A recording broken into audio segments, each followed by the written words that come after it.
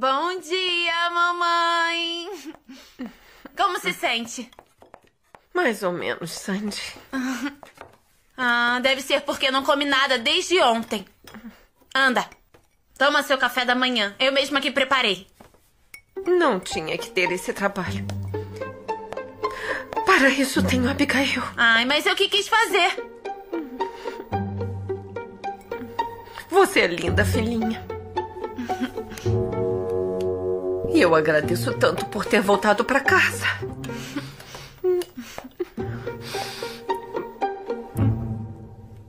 Já não pensa mais em ficar com seu pai, não é?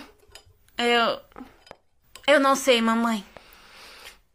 Eu morro se você me abandonar. Sandy. Entende que agora eu só conto com você. Porque Moisés não quer mais saber de mim. Não é verdade. É sim. E eu, eu não queria dizer isso, mas. Já faz muito tempo que eu suspeito que me engana com outra mulher. E agora? Mas como pode dizer isso, mamãe? Por que acha que ele saiu de casa?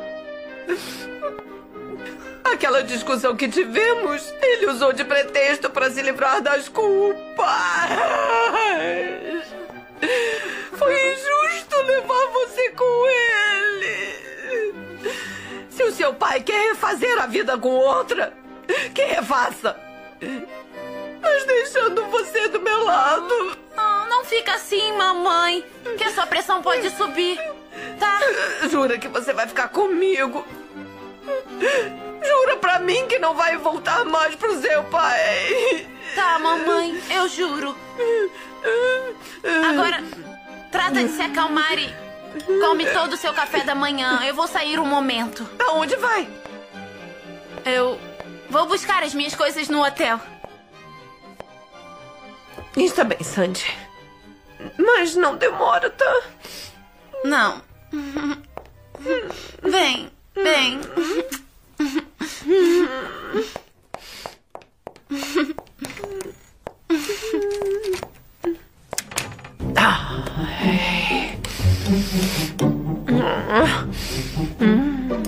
Jura que se preocupou comigo? Sim. Hum. Por isso vim até aqui. Ontem o Padre Ventura me assustou muito quando me ligou. Então, não está mais brava comigo? Não, Felipe. Entendi que, que você sentiu ciúmes e isso quer dizer que gosta de mim.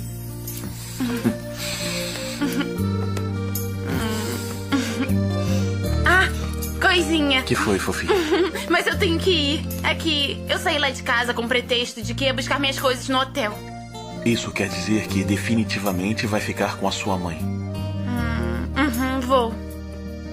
E o seu pai também? Eu não sei.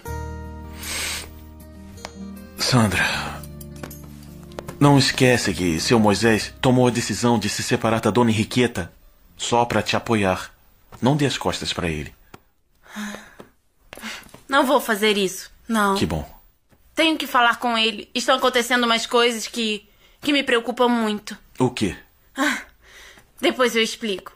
Tudo bem. Nos vemos hoje à noite? Ah, acho que não vou poder. Eu não quero voltar a me esconder da sua mãe.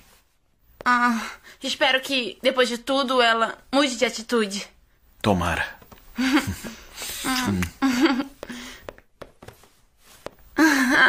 Diz que me ama.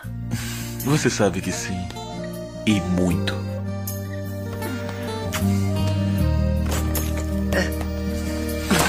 Desculpa. Eu já vou indo. Te acompanho até a porta. Mas que falta de respeito com este sagrado lugar. Isso não é co... Então já tirou suas coisas do hotel. Já, papai. Ah, por que não volta comigo para casa? Não, pra mim ainda não é hora, filha. É que não gosto que fique lá sozinho. Me sinto culpada porque fui eu que provoquei todo esse problema. Princesa, Já disse que você não é culpada de nada. Eu precisava me afastar um tempo da sua mãe.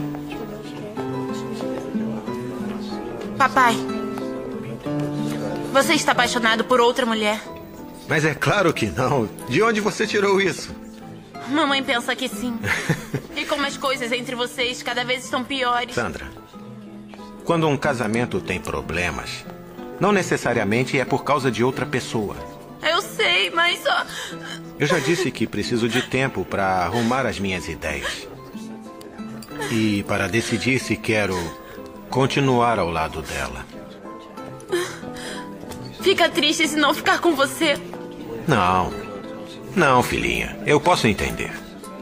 Só espero que não ceda demais.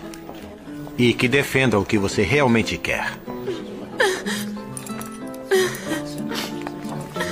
Vou morrer de saudade, papai.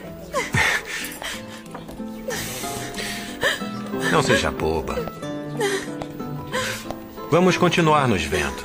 De qualquer maneira, vou sentir saudade. Eu quero que fiquemos juntos os três.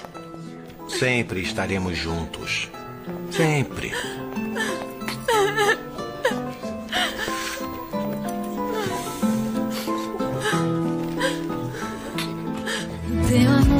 asomadora.